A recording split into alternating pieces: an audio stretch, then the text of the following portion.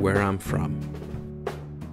I am from rolling prairie fields and playing in the snow, from trips to my grandparents and picking crab apples, sour and sharp. I am from the Douglas firs that reach the sky, from salty water and sandy shores. I am from street hockey, ice cream trucks, and scraped knees, bloody and sore. I am from home movies and pancakes on Sundays. I am from camping and open fires, from paper and markers until ink runs dry. I am from music and laughter. I'm from the soundtrack of Forrest Gump and movies with Jim Carrey. I am from superhero birthdays and ball pits at McDonald's. I am from the rugged Atlantic coast, from those who landed long ago. I am from swimming in my aunt and uncle's pool, cool and refreshing.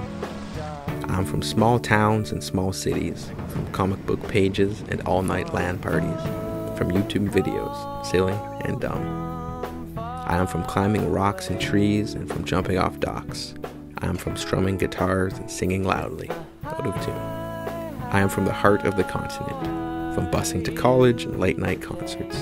I am from hard drives and megapixels, from disposable to mirrorless cameras.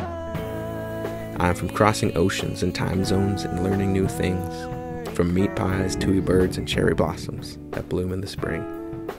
I am from promises and I am from love from family old and new, like I was there all along.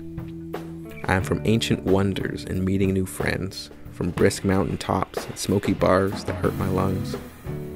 I am from new languages, people, and places. I am from there and from here, and from wherever I may go. I am from adventures and from comfy couches. I am from then, and I am from now.